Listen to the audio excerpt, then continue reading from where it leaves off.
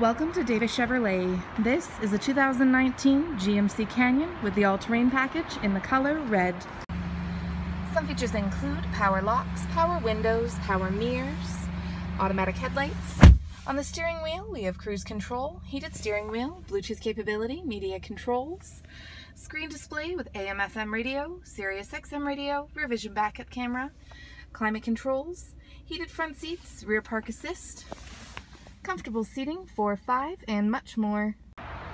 So don't miss out, hurry in, or give us a call today at Davis Chevrolet to book your test drive.